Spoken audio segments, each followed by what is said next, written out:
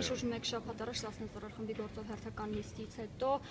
այս գործով ճուժող Յուրի Տեփանոսյանի հայրը Վահրամ Տեփանոսյանը հայտարարեց, որ իր որդուն սպանել են ոստիկանները, ոստիկանների գնդակից են նա զոհվել, ինչպես կմեկնաբանեք դա։ Չեմ կարող մեկնաբանել, չգիտեմ որտեղից, բայց դա իր երևակայությունն է։ Չի համապատասխանում ընդհանրապես իրականությանը եւ խոսել չեմ ուզել Նա ասում էր, որ որ որ, Ինչպես? որ իր հրամանատարը չի սիրել։ Ուրեմն եթե փաստեր ունենար հարգելի մեր զոհված ոստիկանության մեր գործընկերոջ ծնողը